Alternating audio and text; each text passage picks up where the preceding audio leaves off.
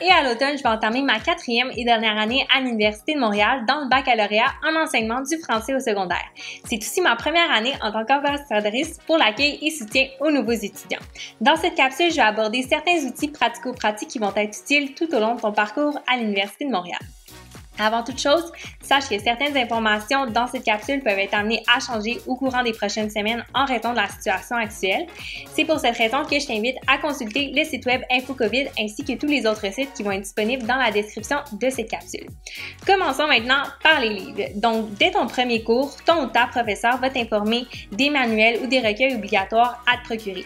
Certains vont même avoir opté pour des ressources en ligne. Tant mieux pour toi. Si c'est pas le cas, pas de panique, j'ai plusieurs options qui s'offrent pour toi.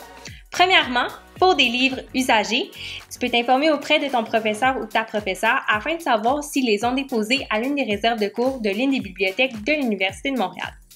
Aussi, tu peux t'informer auprès de ton association étudiante afin de savoir s'il y a un groupe Facebook dans lequel les cohortes précédentes euh, vendent ou prêtent leurs livres usagés aux cohortes actuelles.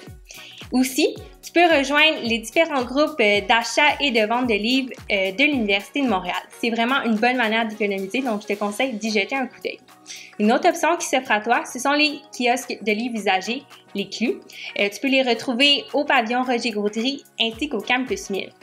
avant de t'y rendre, je te conseille de consulter leur site web afin de savoir quels sont les livres disponibles. Maintenant, la deuxième option, ce sont les livres neufs. Pour tout ce qui est livres neufs, la majorité du temps, c'est aux librairies de l'Université de Montréal que tu vas pouvoir te les procurer. Euh, ton professeur ou ta professeure va sûrement te dire à laquelle aller euh, pour te procurer euh, les manuels ou les recueils en question. Maintenant, un autre aspect important de la vie à l'Université de Montréal, ce sont les casiers. Donc, dans la majorité des pavillons, il y a des casiers qui peuvent être loués. Des frais de 10 s'appliquent pour la session d'automne et d'hiver. pour les informations concernant la session d'automne, sache que les informations vont venir au courant du mois d'août, donc reste à l'affût pour ça. À l'Université de Montréal, il y a ce qu'on appelle les comptoirs de la FECUM.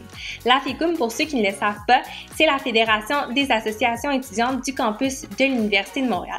Donc, à ces comptoirs-là, on retrouve vraiment de tout. Que ce soit pour acheter des titres de transport, que ce soit pour imprimer un travail de session, plastifier un document ou te procurer du matériel scolaire, c'est vraiment un endroit pratique pour tous les étudiantes et les étudiants.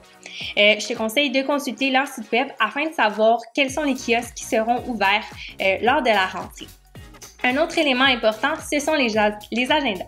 Donc, euh, la FECUM et euh, l'AGFEP, donc euh, l'Association étudiante de la Faculté d'éducation permanente, mettent à la disposition des étudiantes et des étudiants un agenda. des informations sur la manière de s'en procurer un vont être disponibles dans les semaines à suivre. Je t'invite à en prendre un parce que c'est gratuit. Maintenant, la dernière portion de cette capsule euh, va se concentrer sur la manière de se préparer à son premier cours, euh, sur le matériel à apporter. Bien sûr, si c'est un cours en présentiel et que tu n'as pas eu d'informations préalables de la part euh, de tes professeurs, je te conseille d'apporter de quoi prendre des notes, que ce soit un cahier, des crayons ou un ordinateur selon des préférences.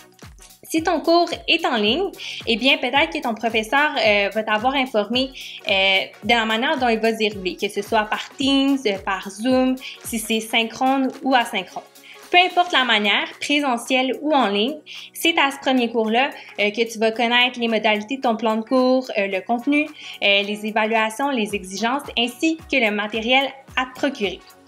C'est déjà la fin de la capsule. Je sais que ça fait énormément d'informations à retenir, mais heureusement, euh, c'est une capsule vidéo, donc tu pourras t'y repérer euh, à n'importe quel moment au besoin.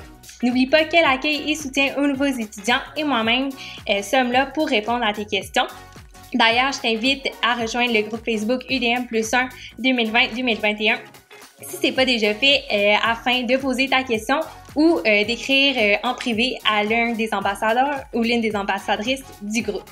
Euh, également, tu peux aussi consulter le blog des nouveaux étudiants sur lequel les ambassadeurs publient des articles tout au courant de l'année. Sur ce, je te souhaite une excellente rentrée.